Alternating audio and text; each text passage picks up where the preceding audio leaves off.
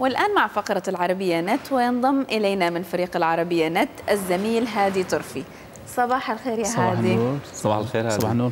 هادي خلينا أول شيء نبتدي بأول موضوع. كان زميلنا محمد جمال عمل مقابلة مع مدونة سعودية سفانة نعم. سجيني وعندها مدونة لطيفة عن كيف التعامل مع تويتر بلا توتر زي ما بتقول هي. نعم هي سلسلة مقالات تنشرها الكاتبة والمدونة السعودية على آه، آه، مدونتها عنوانها هناك المزيد. في هذه المقالات هي تصف بأسلوب أدبي كيفية التعامل مع هذا الموقع التواصل الاجتماعي وتقدم نصائح مختلفة وتحكي عن تجربتها الطويلة مع تويتر. تقول أنها في البداية اكتشفته تصفه كطائر لطيف لكن بعد فترة اكتشفته أنه له أنياب ومخالب وربما تريد تشير إلى الخلافات التي تحدث على هذا الموقع.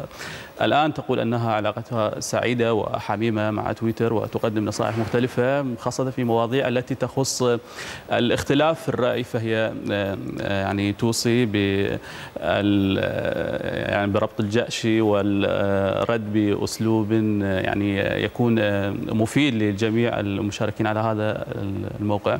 أيوه عندها اقتراحات إنك تعمل لست لسته تفتح النفس وأشياء تضحك وكذا حسب ما قرأت. نعم هذه التوجيهات كلها يعني لم تكن فنية كلها بأسلوب أدبي مثلا يعني حتى عنوان مثلا الرد على الصقور يعني مم. تحت هذا العنوان هي تقول وما يميز يعني مقالاتها هي يعني تكتبها بلهجتها الجميلة السعودية طبعا يعني أيوه.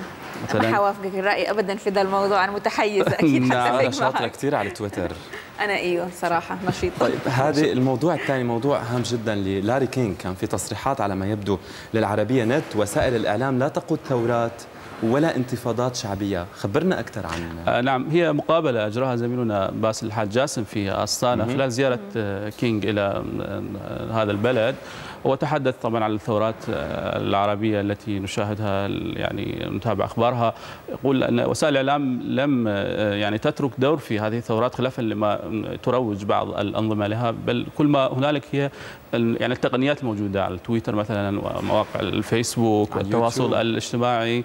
أيضا بما أن له يعني شهرة عالمية كينج تحدث عن أعماله المستقبلية وقال أنه رغم أنه اعتزل عن برنامجه الشهير يعني كينج Live يعني لكنه يعد عده برامج لل CNN رغم أنه الآن في سن ال 77 وسألوا كمان أظن عن آه، الرؤساء.